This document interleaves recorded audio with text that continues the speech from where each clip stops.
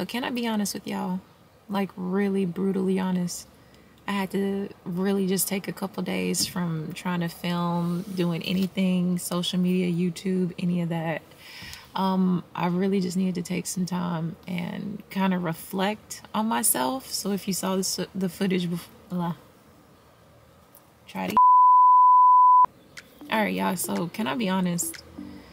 I really just had to take a couple days off, almost like a week off, just to kind of focus on myself and kind of go inward a little bit and kind of like really get to the root why I feel like I'm failing, why I feel like I don't deserve to take up space, why do I feel like I'm wasting my time doing this. I just, I had to work it all out, honestly. I feel like I'm not being as consistent as I want to be. And number one is because I was shooting on my phone at first, right? Super easy, but I kept losing, you know, storage and everything. So I was like, all right, let me just invest in a camera. Since I have gotten this camera, of course, the quality of my videos have gotten better, but I've lost like four videos I've shot because when I was filming, I don't know what happened, but it started to shoot in slow motion.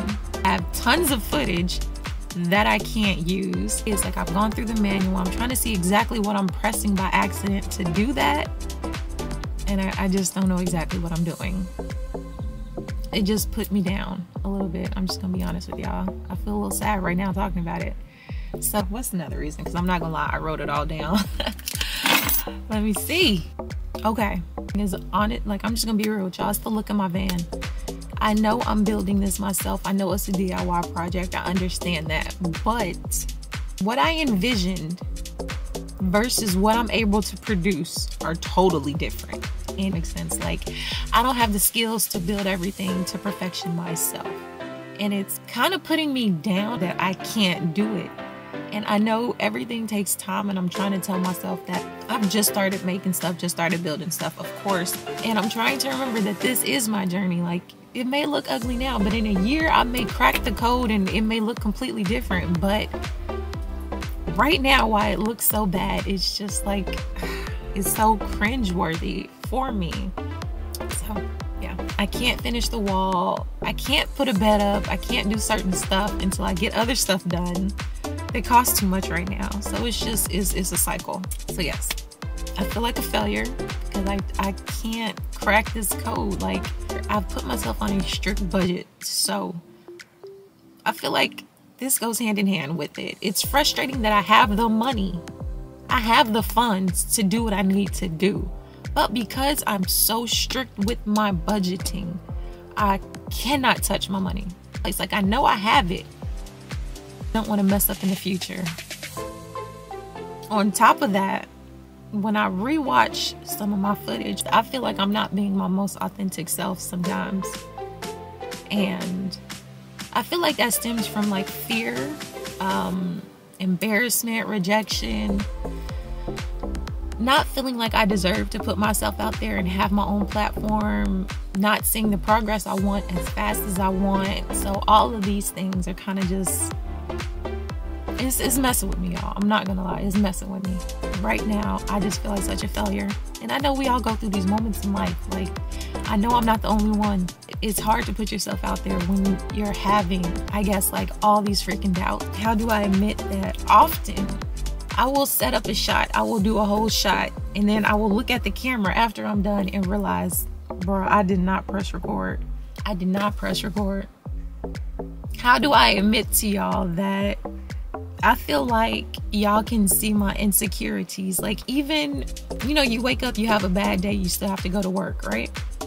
I wake up, have a bad day, I still have to film, so I'm trying to, right? But on those days where I'm filming and I know I'm insecure, I feel like y'all can see the insecurities. So I feel like I'm so in my head that I'm not present here being my most amazing, authentic self. One other thing is I'm scared that if I am just who I really am, my most authentic self, of course I'm going to be judged. Of course. Of course. My most authentic self is amazing. But getting me to that point to open up takes a lot. Especially to the world, opening up. I see how I see how the world is. Sometimes they like you, sometimes they don't. They will start off loving you, and then because of something in your past, they don't like you. You know, you don't share the same opinion. They don't like you. It's hard. And a person like me, I'm a B100 with y'all. In my past, in my past, okay, I was a completely different person. I can't not do what I want to do based on my past or who I used to be. We all used to be somebody else. We all used to do or say things we probably shouldn't have. I did it a lot. I'm not gonna lie. I'm not gonna lie. I've said a lot of foul things in my life. You know what I mean? Trying to change that. But what I can say is like, look, I'm just gonna be real. If you said something foul to me, I said something back. Period. I've never just came to anyone saying any foul things. I'm not a bully. I just want that to be clear. But if you came to me with it, you got it back. So yeah, definitely. But honestly, these are this is me. These are my imperfections.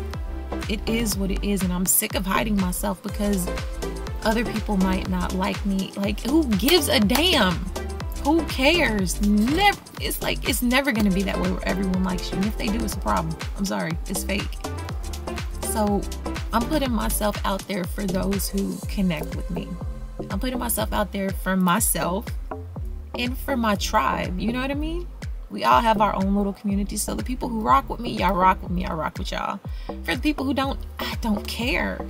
And I have to get to that point in my life where you can't continue to care about what other people think or anything like that. Like sometimes you can't even care about the negative thoughts in your head. You have to realize, like, nah, you can't listen to that. I want to make a declaration to y'all, to myself, to myself, because I'm just gonna keep it real. I have a huge issue with being consistent because I've never seen it. Never. I have never had someone be consistent with me, not in any relationship. So it's hard for me to be consistent, and I'm realizing that. So, learning to love myself, learning to love my flaws, learning to understand my flaws, learning to understand those negative thoughts that are going to creep up telling me I'm not good enough, you're not going to make it, all this and that. Hell, even listening to my family who say I'm not going to make it, this and that. Like, who cares? Because one thing I realized is that the family and friends who try to deter you, they not doing what you want to do. They see it in you that you can do it. That's why they want to stop you because they know that they may not be able to do it for themselves. So learning to love myself is hard. Because honestly, growing up, friends and family would not allow me to love myself. Honestly. It was all the jokes, all the putting me down. So I'm here now, trying to love my man and trying to love myself. So this is this is me. I'm trying to show y'all my most authentic self. Sorry about the voice again because it sounds so gross. but honestly, this is me. This is me.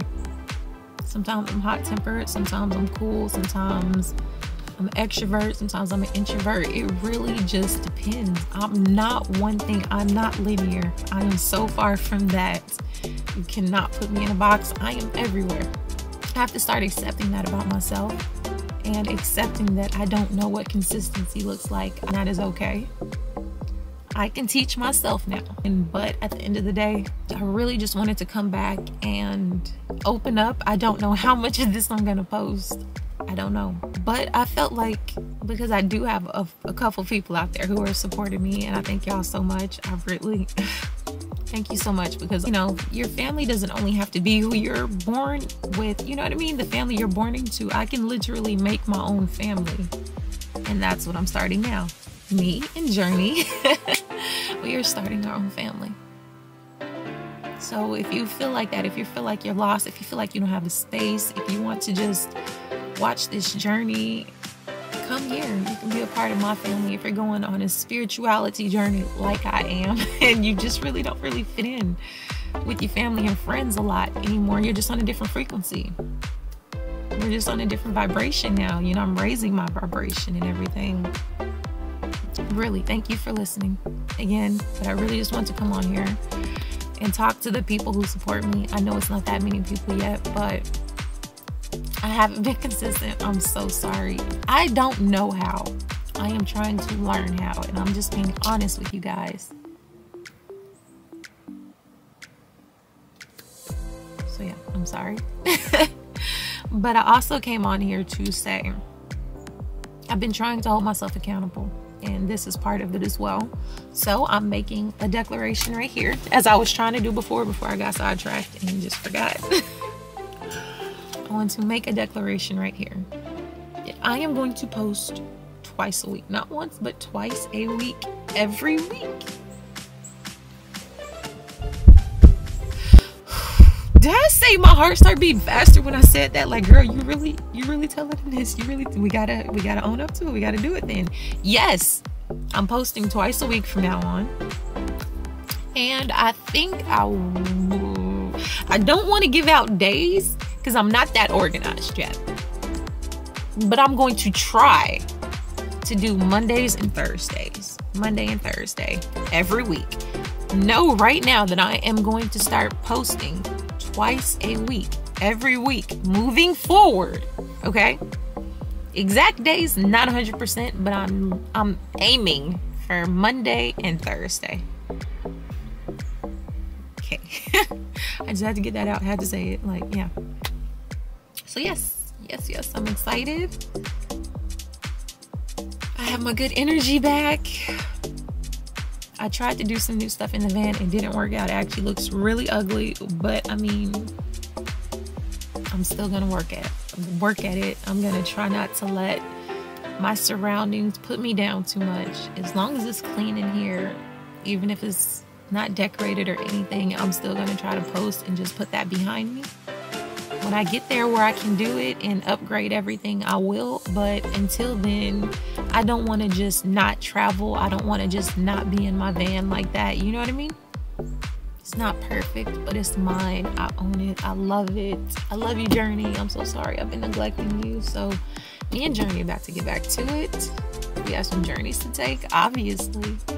Again, thank you so much for watching. If you've made it this far in the video, because I have been rambling, a lot. Thank you so, so, so, so, so much. Oh my gosh. So please do me a little favor. Go ahead and like, comment, subscribe, turn on your post notifications, and I will see y'all in the next video. Bye-bye.